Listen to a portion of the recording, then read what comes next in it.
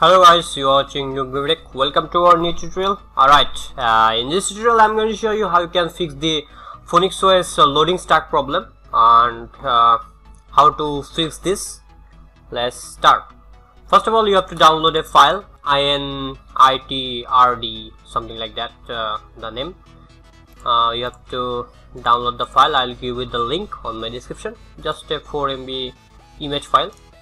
So what you need to do you just copy the file and uh, paste it where the Phoenix OS you install. I'm installing my Phoenix OS on my E drive and here's the directory. So I have to paste it here and replace the image file. Okay. So now we are done. Now we have to restart. But the, this stuck problem is happen for kernel version. If you are using a graphics card then it will happen for you. But if you remove the graphics card uh, it will work properly. So the kernel version of the graphics card are different. So use update your kernel version. If you don't know how to uh, update your kernel version then let me know in my comment section and i will make a future video later.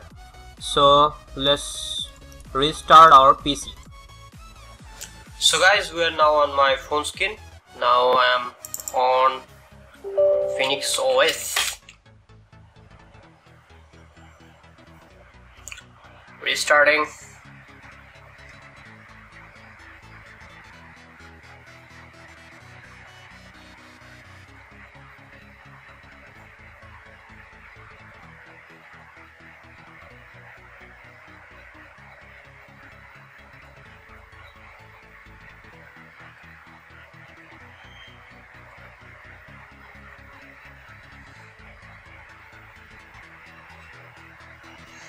just wait for a while. It will load it up.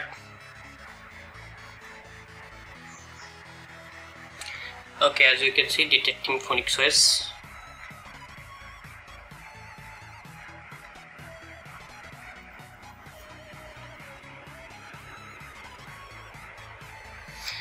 Phoenix OS logo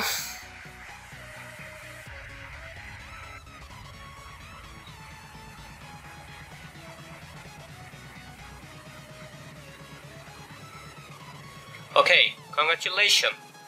Android is starting. So guys, if it's helpful then hit the like button and smash the subscribe button. Okay, I will catch you on my next video. Bye bye.